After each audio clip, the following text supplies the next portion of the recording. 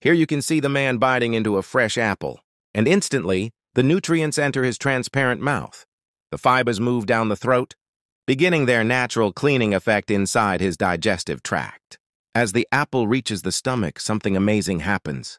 The soluble fiber starts absorbing harmful substances, while vitamins begin energizing the body from the inside. The stomach walls become more active and brighter. Now the apple breaks into tiny pieces, traveling through the intestines. The natural antioxidants start repairing cells, and the body system begins flushing out waste faster. Everything inside becomes cleaner and smoother. Look closely. The apple's nutrients are now entering the bloodstream. Heartbeat becomes slightly stronger, energy levels rise, and the transparent organs show a healthier glow. This is the power of real fruit. And finally, the man's whole body responds. The liver detoxes faster, the gut becomes lighter,